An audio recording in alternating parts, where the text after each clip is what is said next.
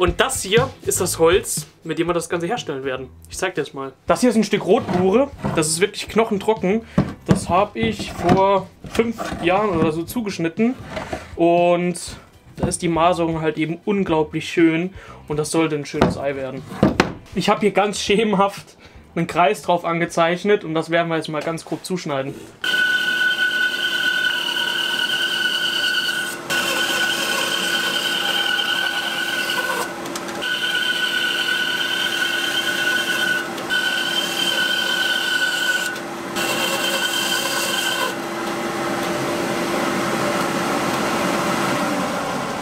Das Holz hier ist wirklich extrem hart und ich denke, da muss ich einige Male das Eisen schärfen.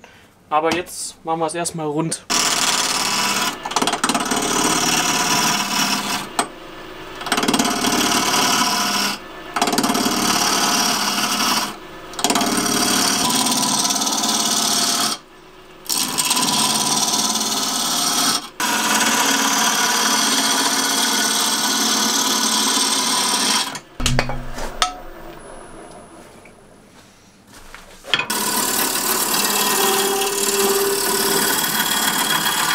So, bevor ich jetzt weitermachen kann, muss ich erstmal andere Backen hier aufschrauben, denn die sind natürlich viel zu klein und ich denke, ich werde einfach die Standardbacken aufschrauben. Mit denen werde ich auch einen guten Durchmesser andrechseln können. Die Spannfutter hier findet ihr auch übrigens auf meinem Shop. Das ist in der Videobeschreibung verlinkt.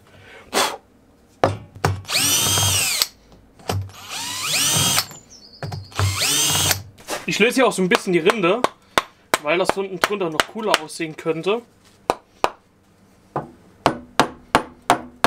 Ja, genau, das möchte ich sehen. Als nächstes haben wir hier eine Gussform quasi und das müssen wir jetzt richtig dicht machen. Ich weiß aus vergangenen Projekten, dass dieses Epoxy wirklich über Nacht hin, wenn das Ganze dann trocknet, wirklich durch alle Ritzen kriecht. Deswegen wundert euch nicht, warum ich es hier gleich so gut meine mit dem Klebestoff. Ich benutze als Klebemittel klebt und dichtet von Wirt. Das ist einfach richtig krank gutes Zeug. Und damit sollte dann nichts mehr über Nacht tropfen können.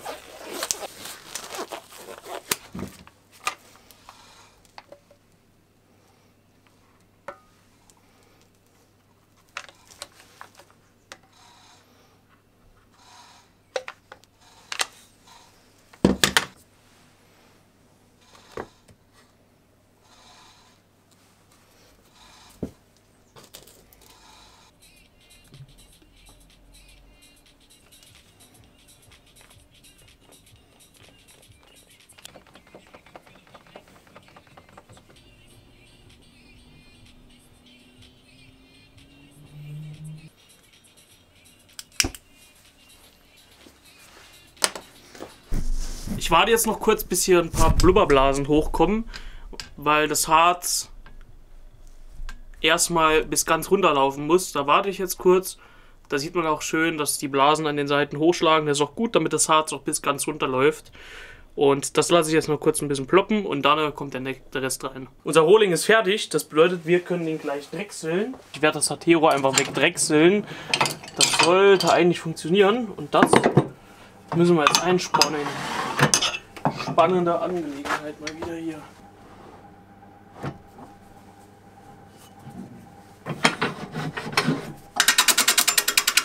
Uiuiui. Ui, ui. Wow, der.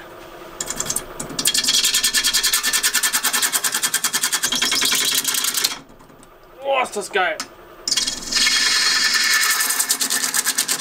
Ah, da haben wir schon mal eine fette Blase, ist schlecht.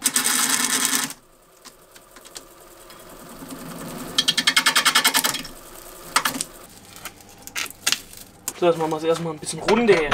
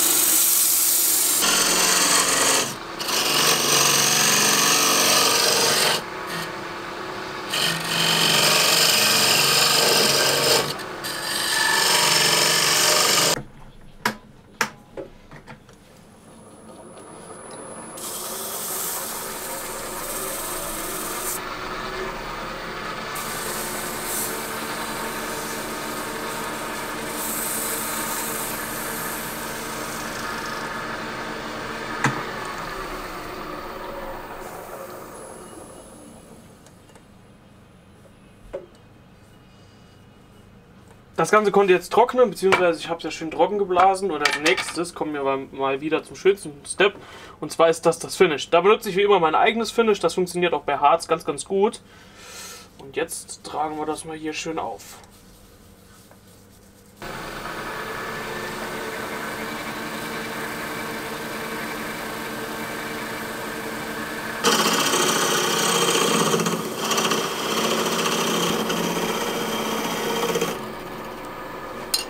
Und das ist das schöne Epoxy-Ei auch schon fertig. Ich denke, das wird dann Ostern sehr, sehr schön den Osterkorb schmücken. Auf jeden Fall habe ich jetzt ein schönes Ei gedrechselt. Und die Optik ist richtig, richtig schön geworden mit diesem Harz. Vor allem auch mit dem Finish, auch dem Harz, das funktioniert auch sehr, sehr gut. Und es ist halt einfach so schön glatt geworden. Und man hat halt einfach ein schönes Stück Holz, was man sich sehr, sehr schön... Ansonsten soll es das auch schon mit diesem Video gewesen sein. War auch mal Ansonsten soll es das auch schon mit diesem Video gewesen sein. War nicht so viel zu reden, aber ich denke, es war ganz schön beim Drechseln zuzusehen. Und ansonsten wünsche ich euch jetzt ganz, ganz frohe Ostern. Habt ein schönes Wochenende, eine schöne Woche und denkt immer dran, genügend Holz auf der Drechselbank zu haben. Bis zum nächsten Video. Ciao.